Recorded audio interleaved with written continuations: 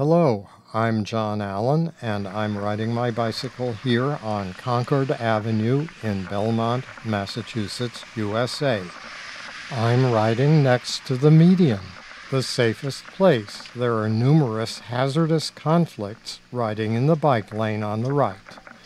I check behind myself for traffic and merge right to be in the correct position to cross to Royal Street.